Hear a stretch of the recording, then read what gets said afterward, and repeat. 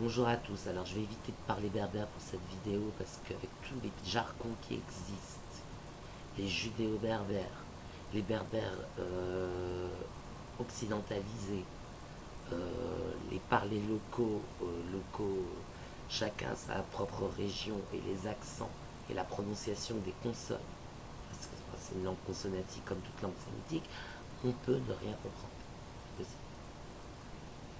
On peut comprendre ou comprendre autre chose aussi, Mais bon, moi j'arrive à m'exprimer avec certains berbères.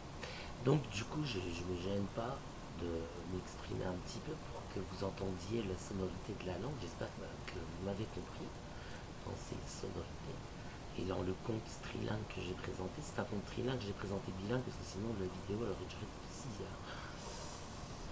Alors, je l'ai fait pour l'arabe, je l'ai fait pour le pour le l'hébreu, mais ce ne sera pas la même chose pour le berbère, vous imaginez bien, c'est un petit peu différent.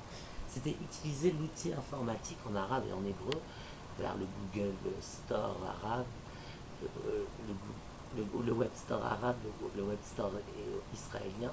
Là, vous n'aurez pas la même chose en berbère, vous pourrez juste imprimer un document en berbère si euh, vous ce que je vous dis.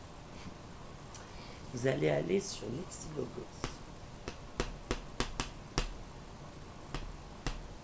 Clavier berbère.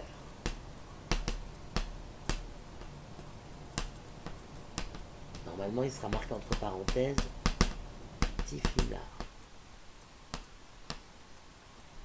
Et Lexilogos, clavier berbère, Tifina.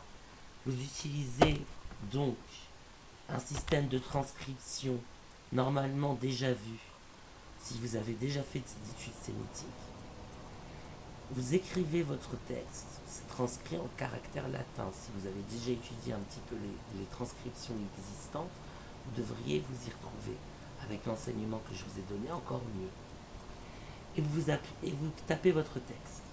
Une fois que vous avez fini, vous cliquez directement sur imprimer. Vous ne pouvez pas le coller dans Google, ça n'ira pas. Certains berbères, le gouvernement marocain en particulier, se battent pour rentrer l'alphabet berbère dans les alphabets internationaux informatisés, mais ils ne sont pas parvenus.